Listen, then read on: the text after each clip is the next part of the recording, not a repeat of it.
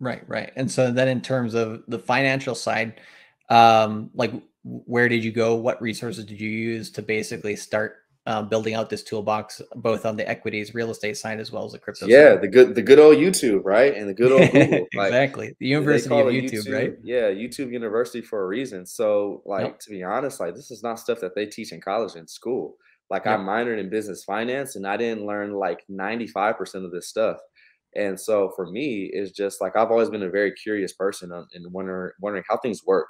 And what I learned to find is typically uh, YouTube and just kind of getting in touch with people within your area, right? So, you know, for real estate, uh, in the markets that I've kind of played in, you know, within the area, there's people that were doing it at a higher rate of success. And so I was like, hey, whatever I got to do to get around those people and understand, see what they're seeing, that's what I want to do. So a lot of times you got to dedicate the time to do so.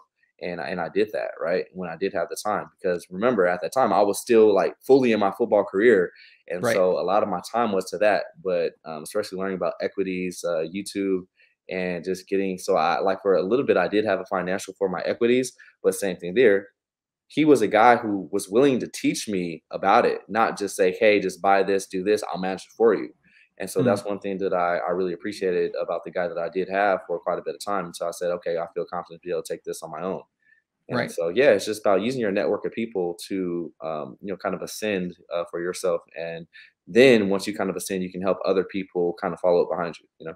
Right, which is very important as well. And that's one thing I think people take for granted or don't utilize enough is networking. I think, Yeah, um, you know, social networking uh, in terms of you know using social media is well and good, and that's great. But yeah, also, you know, meeting people in your current, you know, in your area um, is extremely important. And you know, um, yeah, but I think, like you said, YouTube has so much information that you can't get yeah. anywhere else.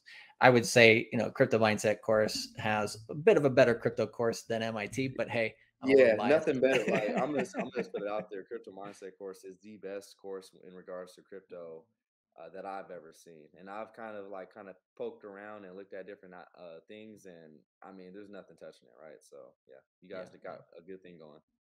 Yeah, no, and it's good to see, you know, like you taking that and just like running with it